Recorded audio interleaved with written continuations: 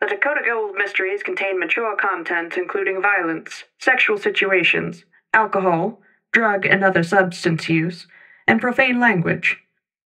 This episode also includes mind control, manipulation, medical experimentation, and character death.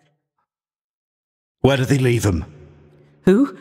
What? The What? people Metalmouth leaves, the ones that have been edited. Where do you find them? It's possible to get across the city in a matter of minutes. The right hat company, the right instructions, the right bribe, and you're where you need to be without regard to traffic, legality, or road safety. I arrived at the abandoned swap shop while there was still time to do something. Or at least, that's what I hoped. Where do you find them? Only Screwloose had been in the hab inside the shop, perched awkwardly on a backless chair, her focus on something on the table in front of her. I started talking before I'd gotten the rebreather fully away from my mouth, and she spun to face me, flinching further into herself the closer I came. I tried to keep my voice level, tried to keep my posture non-threatening, but every second's delay carried success a little further out of my reach. Put whatever you've got in your head that still remembers human thought and answer me! Let go of me. Something in them changed, quickly and entirely, as though a switch had been flipped. The person in front of me was no longer the cringing, confused ruin of an individual I'd become accustomed to, and was instead a berserker. At the very edge of their self control. Take your hands off of me and step away. I did so, cautiously. Her entire demeanour had altered now. She stood to her full height, had become broader somehow. Withered shoulders and shrunken muscles seeming to become whole and healthy. And her eyes. There's a door in one of the former procedure rooms. We've never been able to get it open. Her eyes had become sharp, calculating, and prodigiously intelligent. And familiar. I strained my supplemental senses, but as before, my Midas touch had gone silent. It has an access panel. Simple electronic keypad. No biometric locks. I- I've thought it could be bypassed or overridden, but I have not been able to obtain the proper tools or focus. Show me.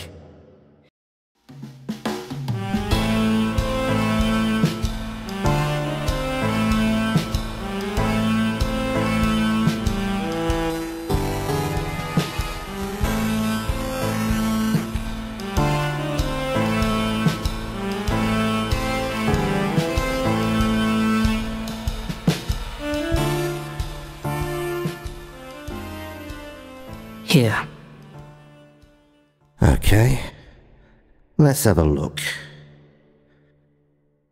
Ooh. oh. Off the rack commercial holdback wearing. Well, you can crack that with just about any old digital bumper key.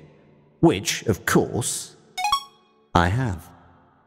Up to this point, I hadn't allowed myself to slow down long enough to consider that I might be making a mistake. But while the bumper cycled, and with nothing else to occupy my mind, I began to feel these thick fingers of uncertainty. I could be too late. Whatever was to be done to Roxanne Prime might have already been completed, and she'd be on her way back to her principal profligate of a husband. Or she might never have been here at all. Westing Garrison had the entirety of Cloud City at her disposal. It would be fundamentally stupid to have whatever facility was used to edit people at the same site where those people were abandoned. But my Midas touch said this was the place. Everything I'd seen of both Garrison the Younger and the Elder pointed to an absolute confidence in their immunity from any and all consequences, coupled with a self satisfied and lofty contempt for others. Why would they require multiple locations when one would do? No average, simple minded citizen of the lower floors would realize what was being done. And if by some miracle they did, who'd care? She might be here. She must be here. Come on, come on. There. The door swung open, revealing a hole in the floor, a ladder vanishing into its gaping black maw. Without hesitating, without so much as looking over my shoulder, I started down, three rungs at a time.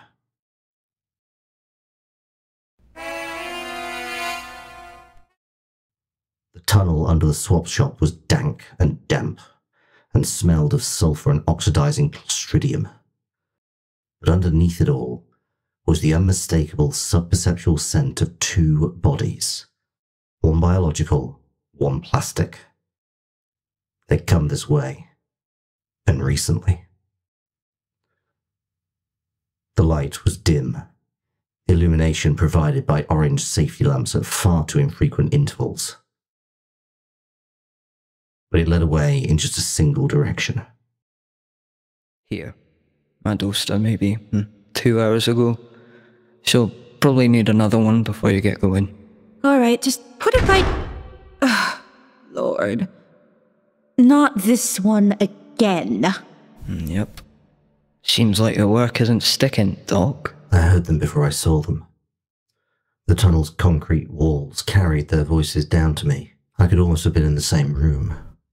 As I told you, this process is still experimental. Granted, we've come a long way toward perfecting it, but it is, as yet, far from an exact science. Hmm. Seems like it should maybe be a wee bit closer to exact science, seeing as how many times you've run experiments. That is simply not the way medical discovery works. The floor under my feet was rough, uneven, and dotted with puddles of unpleasantness and mysterious liquid. I moved as silently as I could, hoping my footsteps weren't as audible to them as their conversation was to me. She said to give her a tune up, so give her a goddamn tune up.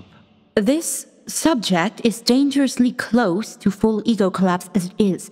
Another intervention and editing would be pushing an already faltering personality core into increased fragility and the That's risk to- great, Doc, but I already told you what the boss said. Yes, but you don't understand. We've seen so much success with this one. I won't risk spoiling it in order to marginally increase conformity. Are you questioning Mix Garrison? No, uh, of course not. Because I can go back and tell her you said you wouldn't do the job. There's no need to do that. She's got dozens of you brainy types lined up. If you don't work out. Dozens lined up. There is not a single other scientist, researcher, or clinician in this entire benighted city that can do work of this type. I invented the process and the device. The schematics and operating parameters are not to be shared. Hmm. The boss know that? Of course she does. And she also knows that I keep them safely stored in my personality core such that they cannot be stolen or replicated. I am not disposable. Makes sense, right? Whatever. Just do your goddamn job and I won't have to bother the woman in charge. All right, all right. Dozens? Does he think highly specialized neurosomatic technicians spontaneously generate? Or that I would be vacuous enough to use external documentation? Or, or show others my methods? What a brainless, empty headed meatbag. The tunnel ended in a door, wide open, spewing forth intense white light. I couldn't get closer without rendering myself highly visible. But even remaining in the safety of the shadows, I could see the other room clearly. It was laboratory and an operating room. What? Where? Archie? Did, did I fall asleep? Ugh, I thought you said you dosed it. I said it was about to wear off. Well, put it under again. They had Roxanne Prime restrained in a chair in the precise centre of the gleaming ceramic box of a room. Her head was gripped in a metal halo, bristling with wires, probes, and sensors. Metalmouth, in their hulked, reinforced soma, seemed incongruously out of place, towering over both Roxanne and a much smaller person in a spotless lab coat. Lab coat would be easy to manage, but I'd already had one run in with Metalmouth, and I wasn't eager for a rematch. Just leave already. Go on. Shut it. I heard something. Shit. I. Why am I. Mix Angstrom? Uh, put it under. Ow! What? Uh, uh. Afraid of a little girl, Doc. The subject runs the risk of damaging itself if conscious. Sure. So, you're gonna do this or what? I don't have all day. Good, then leave already, you asshole. The work cannot be rushed. Whatever. Fine. Oh no. What do you think you're doing? Waiting. You, um, you don't need to do that. Eh, easier. I would just have to come back to take her up city when you're done. Um, well, that that is, I, I, I would prefer if you just Get to work, Um. Doc. Yes, of, of course.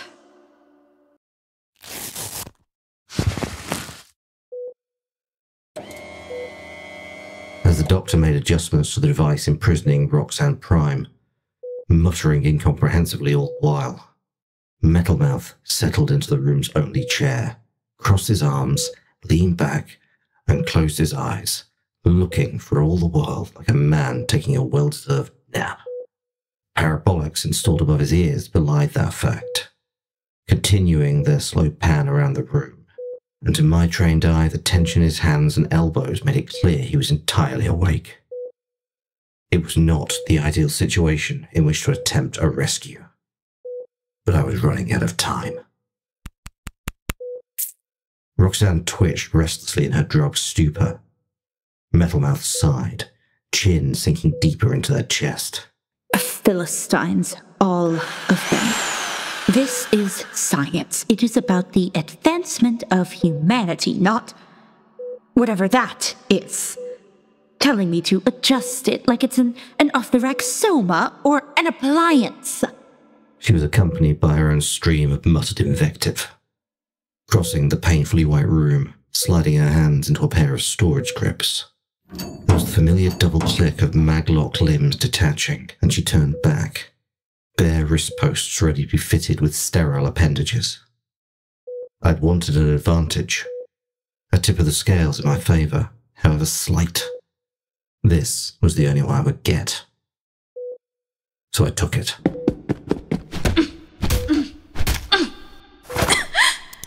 That thing you feel right there. It's a gun. A real one. Fires projectiles. I pull this trigger, your core shatters. Yourself gets sprayed all over the wall. Not enough left to reconstruct. No, please. What do you want? Money? I can get you money. Uh, or, or that. The, the subject? I can give it to you. Just don't, don't kill me. I... He's not gonna kill you. And what do you know, smart guy? If you kill her, I kill you. I mean, I don't care either way. She's a peasant twerp. But I imagine you like your core inside your spine. Metalmouth hadn't got up. He'd hardly moved.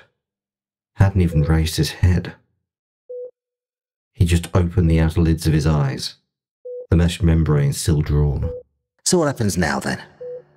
You get the fuck gone and forget this place exists. Or what? Or I pull off your head and put it back on wrong way round. You know, really not sure I'd fancy that. Then turn loose the egghead. You can still walk out of here. What about her? This is about her. What else could it be about? I thought you were a corporate spy. OBI logistics or a vision, maybe. But this is about. Finish that sentence and I will end her. Please don't. Damn. What's it to you, anyway? She your favourite dream girl? Look, here's how this is gonna go. You get up, nice and slow. Let her out of whatever that is, then back away. I'm taking this one with us. I'll let it go when we're back above ground. No. It happened too fast for even my enhanced sensor to catch. One moment, the huge body was slumped in a chair. The next, it was standing, holding a smoking gun. Oh. Oh dear. The doctor let out a breath and became nothing more than a human shaped bag of dead meat and plastic. Why did you? Cora's fine. We'll reslave her. I'm gonna give you one more chance here. You go to the count of three, and then I start shooting. And with you, I'm aiming for the core.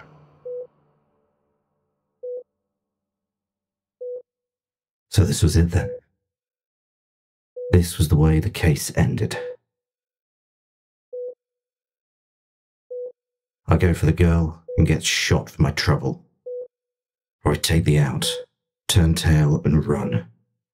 And spend the rest of my life avoiding my face in the mirror. Two choices.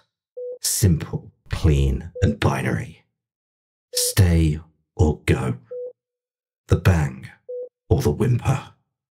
Her or me. I started to move and was thrown bodily across the room and into the wall.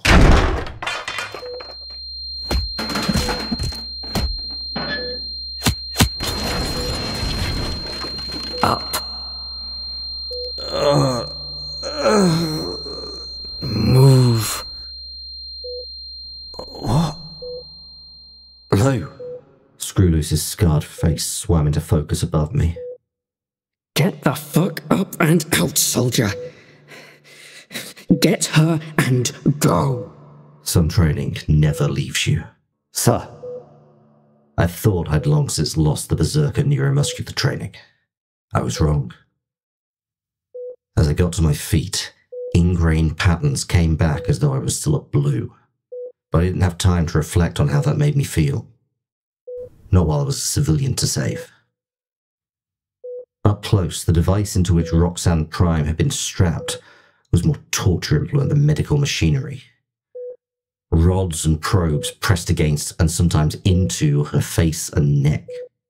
Electrodes were applied to her temples, sensor pads over her eyes. I disconnected her as carefully as I was able. But even so, she began to whimper in pain. Then she was free. I shouldered her and turned toward the tunnel, just in time to catch Lugh performing her own operation.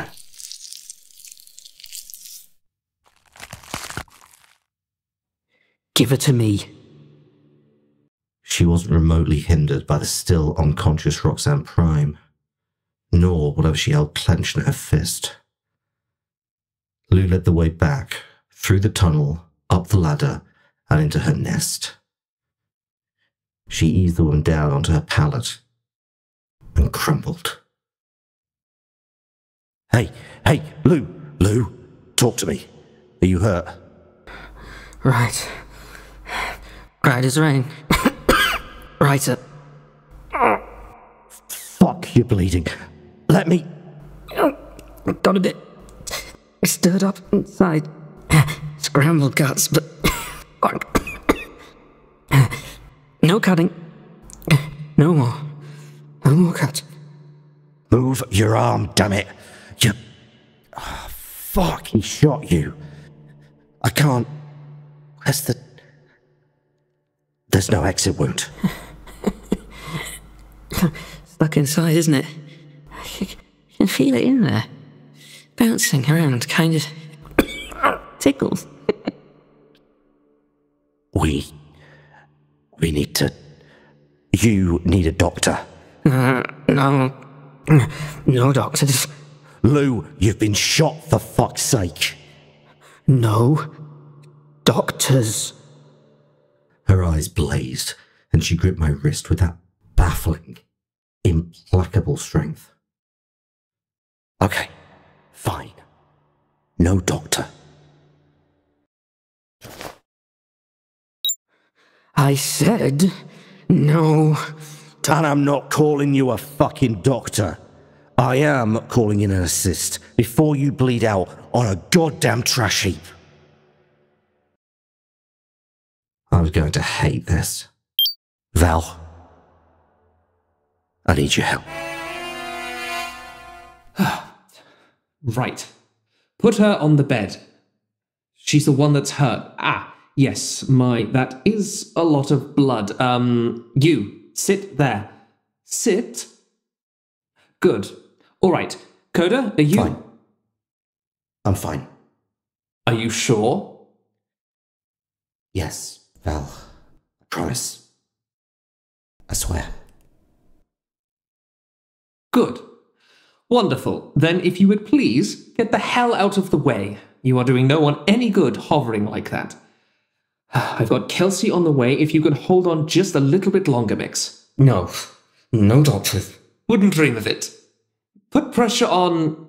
Ah. Um. Here, use this. That is rather saturated. Oh, your hand. Your hand is also injured. Oh, no, it's not. You're holding. What is. Is that someone's core? Why do you have a bloody personality? No, don't tell me. It doesn't matter. Just hold this. There. Press down. The trip from the abandoned building to Val's upcity hab was a smudged and brightly coloured blur, punctuated by sirens. I put enough credit into the hack to purchase all the bells and whistles, including a very realistic replica of blue aircar markings. It was a gamble, but one worth making. Lugh refused to let go of Roxanne Prime, even as the unconscious woman's blood soaked through her own clothes and began to stain Lugh's. Roxanne herself twitched and mumbled groggily, but showed no signs of rousing. I. I did my best to think of nothing at all. Right. Okay. What was she given? Dakota, what was she given? What does she have in her system? Um, I, uh, Flexidox, I think. Or maybe Dexlanstam? It, it was some kind of dermal patch. Hmm, right. Likely an alglugen inhibitor then. I've probably. Yes, I've definitely got something that will.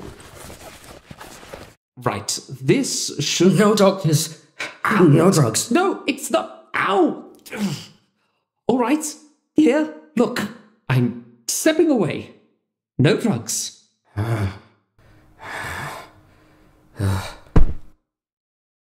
Is she? No. Get her back to the bed.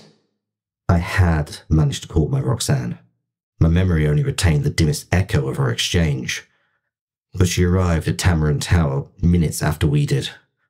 Her blue eyes were wide with fear and glowed cerulean in the streetlights. If Val was surprised to see her with us, he didn't show it. And instead bowed over her hand like a courtier, while simultaneously ordering myself and Lugh about. How can I help? You are perfect just where you are, dear. We've got this all well in hand. And you know what? For just a moment, it seemed as though we actually might. Where is she? She's right there. I won't move her unless it's all right. Uh, where? Uh, There. See? Right there. Uh, no, no, no, no, no, no, no. Where is she? Um, uh, Mix Roxanne, if you wouldn't mind coming over here for a moment, please? No. My sense of fear. It burned at my Midas touch like a magnesium flare. Um, Dakota, your assistance, if you wouldn't mind?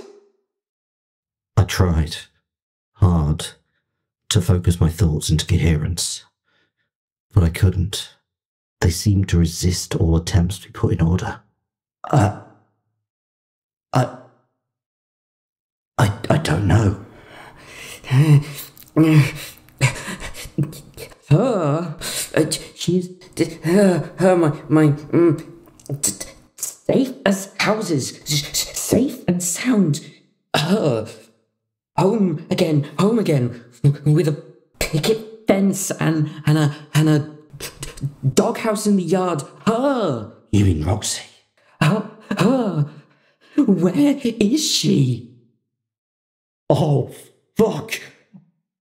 Val, Val, we left someone at Already on it. Address? It was, uh, 3773S, Spoke 24, Borough 73A, Rimwood. Yes, hello, David. So sorry to bother you at this hour, but. Thank you, sweetheart. You are a darling man. I'm sorry to be so abrupt, but I've got a little situation and I need a favor. no, no, nothing like that. We're all perfectly fine. A friend has just found herself in a. an untenable position and could use a lift. Back to the tower, yes. 3773S, Spoke 24, Borough 73A, Rimwood. it is rather a rough borough, yes. You see what I mean about untenable. Immediately, please, it's quite urgent. Tell her.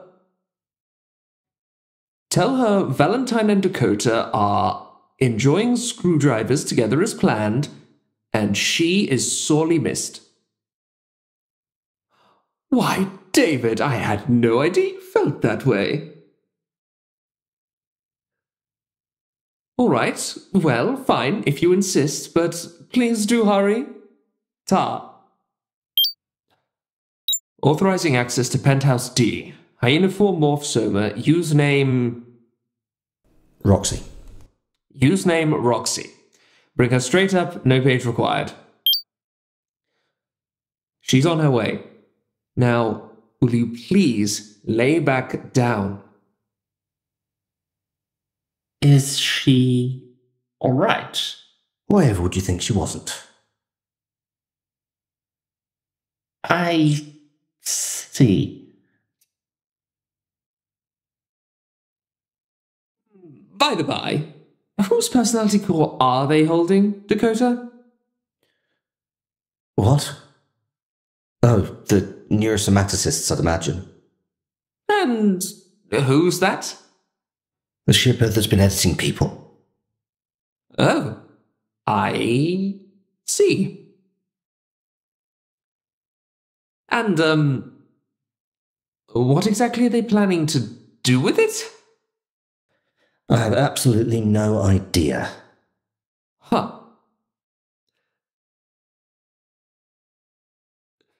Dakota, why do they have. Oh have. my god! What happened? What did you. Are you. Are you it's. Oh god, I didn't know what. I, I, I came back and there was. It's. It's. it's fuck! The, the clinic, there's. It, it, it, it, it's on fire! What? What? What? On fire? Tried. I tried to get in. I thought they were. I, I, there are uh, things and. God, it's burning. It's all gone. The fuck am I supposed to do now? Gotta. Gotta. Bill, and new. Doghouse. Oh, thank God. I thought you were dead. God, I thought, I thought you were in there, burnt on a dead. How many. How. How. How many hands?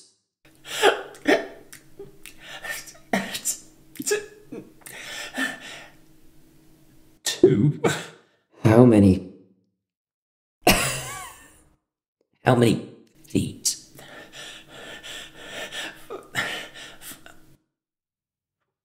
Four.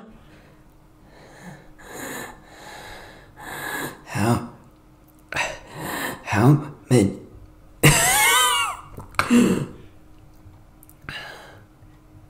She's dying. Fucking do something. Soma's too tough t- to kill. Brains all scrambled, right? too fucked up to die.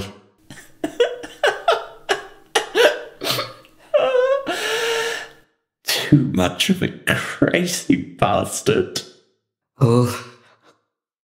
all the king's horses. You contacted the last one? The simulacrum. Hmm, yes. I called the hostel. She's gone. No Forwarding forwarding. number? No. Okay, did you maybe try I to. offered financial incentive. She didn't leave anything. Well, well, I don't know, shouldn't you try to find her? I, for one, think she deserves to be left alone. Okay, but She doesn't want to be found, Val. And I think I know them all well enough to be sure that now that she's decided to hide, she'll stay hidden.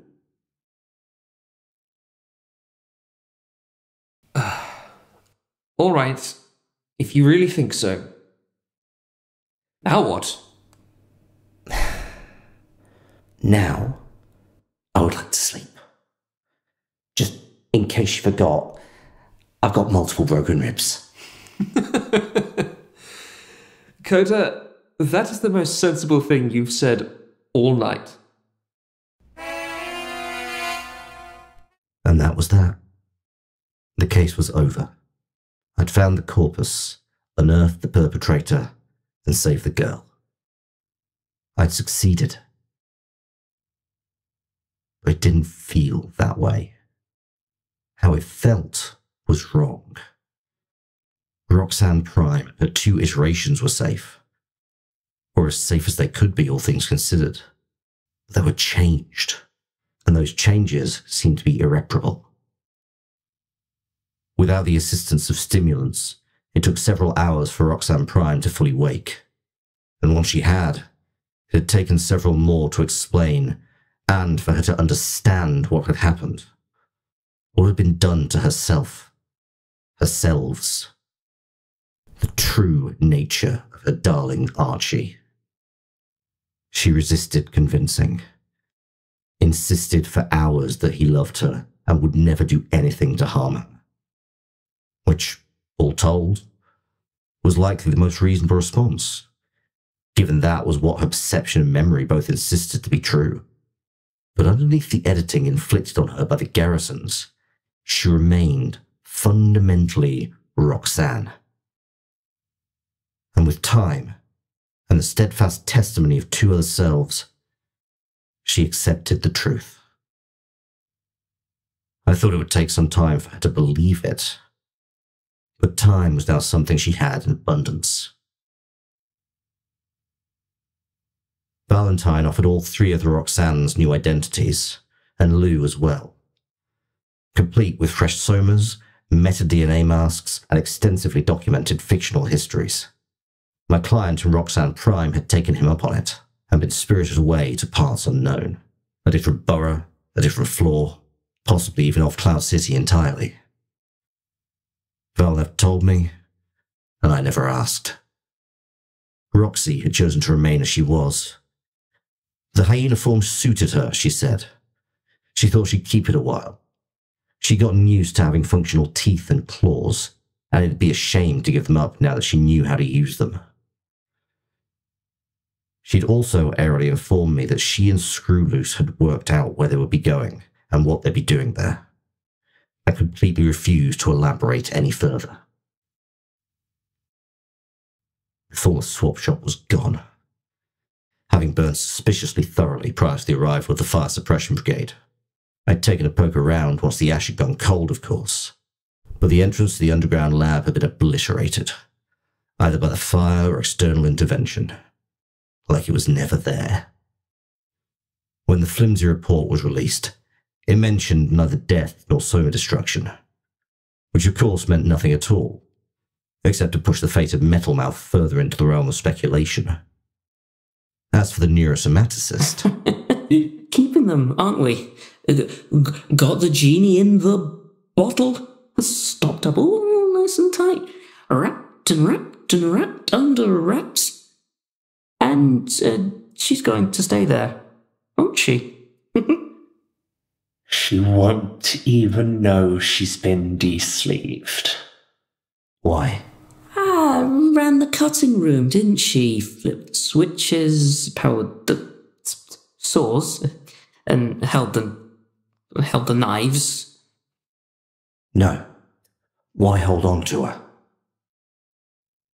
Shatter the damn thing. I'm done with it. Because she ran the cutting room. If she created the editing process, she might know how to undo it. Or figure out how with the proper encouragement. And we, we, we, we may, may, may have many, many ways to, um, encourage her. And it's not going to stop the editing tech from getting out there, but bottling up its inventor might at least slow it down a little while.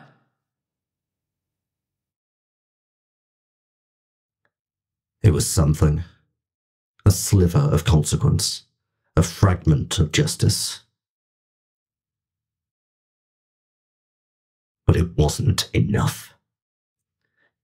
Even if Metalmouth and the scientists had burned, trapped inside the ceramic torture chamber they built, it still wouldn't be enough. A day after the Roxannes had departed to begin their new lives, I came across something on the feeds.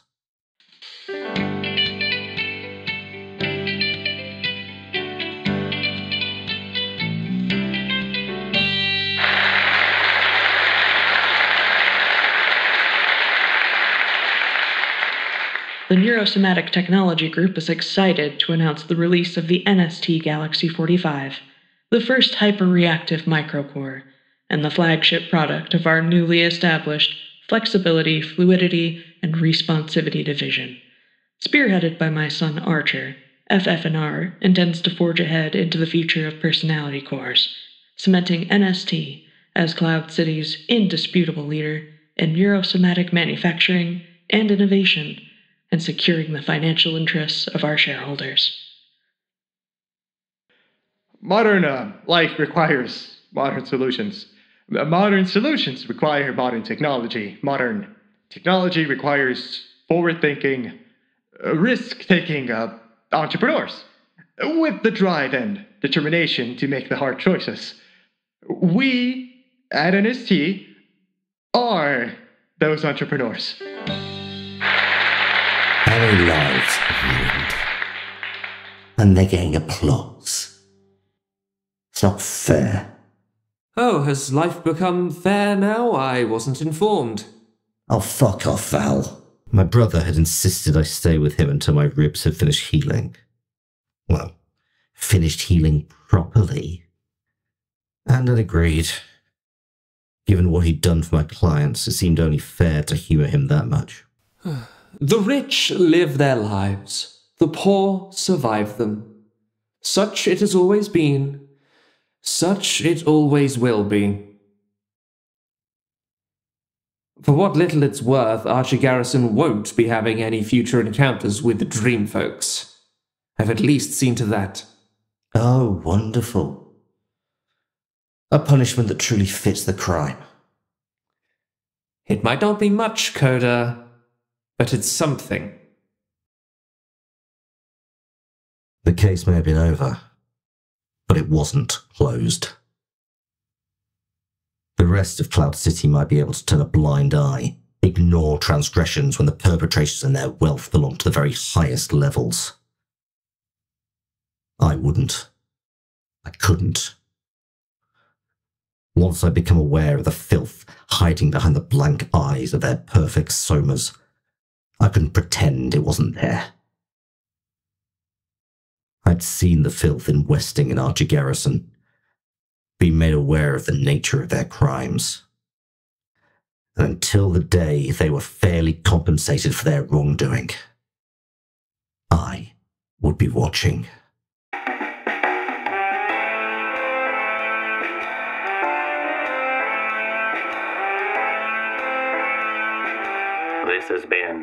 Cloud City Sonata, Part 4.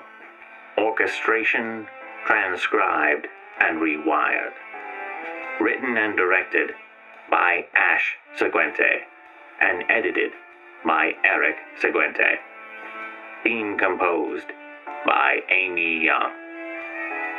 Featuring Emma Laslette as Roxanne, Moira Daykin as Screw Loose Lugh, Michael E. Fremantle as Valentine Voight, Emma Laslette as Roxy, Amy Young as Westing Garrison, Alain D'Regel as Archer Garrison, Daisy McNamara as the neurosomaticist, Kit Paterson as Metalmouth, Emma Laslette as Roxanne Prime, and Vic Collins as Dakota Gold.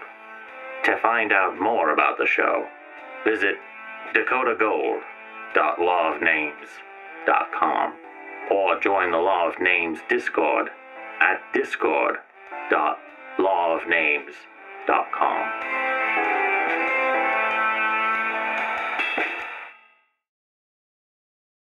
Thanks for listening. Don't worry, more Dakota Gold is coming. Watch this space for our second installment Murder at 1.28 hertz.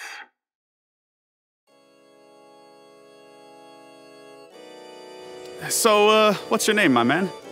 Oh, um, Greg. Oh, weak grip. Is it normal for humans to be this odious?